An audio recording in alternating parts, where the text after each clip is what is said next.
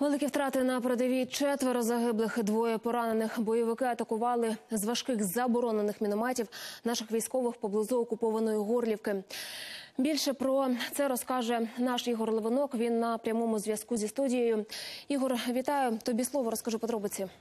Добрий вечір, Катю. Так, на жаль, новини з фронту трагічні. Окупанти вкотре порушили режим припинення вогню та прицільно обстріляли позиції збройних сил біля селища Шуми. Саме там, де торік восени бойовики вимагали провести інспекцію українських позицій. Сьогодні противник відкрив вогонь із заборонених мінськими домовленостями мінометів калібру 82 мм, станкових автоматичних гранатометів і великокаліберних кулеметів.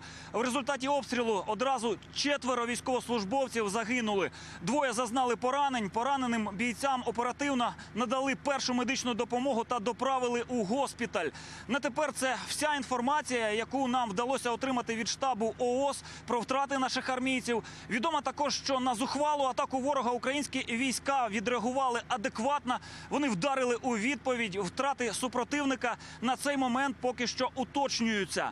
Ну а ми сьогодні також побували на передовій на Луганщині в районі містечка Золотого.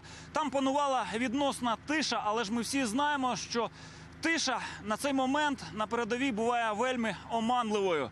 Подробиці я пропоную подивитися у нашому матеріалі.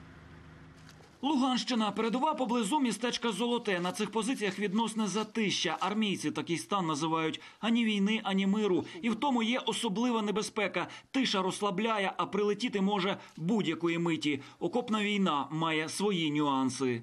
То есть ты не понимаешь, куда оно прилетит, куда попадет.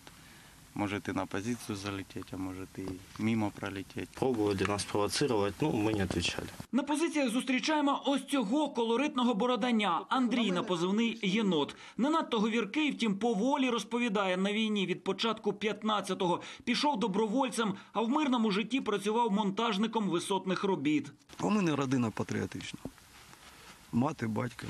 Я уходив, батька, ну якби, можна сказати, благословив на це. Шість років на фронті на досвіді загартований вогнем. Із тіла Андрія лікарі дістали три ворожі кулі, і він знову тут зі зброєю в окопах захищає рідну землю. попала в засаду группа, и мы выдвинулись им на помощь. Получил три пули, вынесла часть костей с плеча.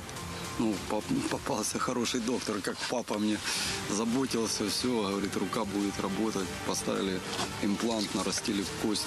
В принципе, воюю до сих пор. Цей документальний фільм потрапив на екрани у 2018-му. Відтоді Андрій дослужився до звання головний сержант взводу. А про своє поранення тепер згадує з усмішкою. Та ну як, ну, помирати я не собирався. До останнього, якби, вірив в те, що виживу.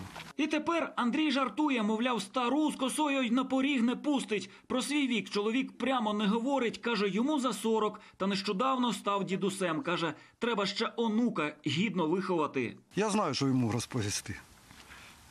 Що?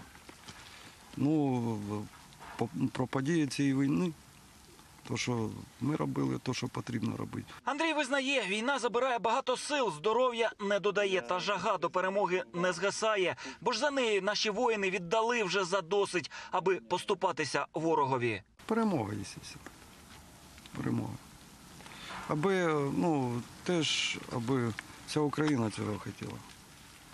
Тоді б це ну, було б швидше. З Луганщини Ігор Левинок, Богдан Савруцький, Валерій Соловчук. Подробиці телеканал Інтер.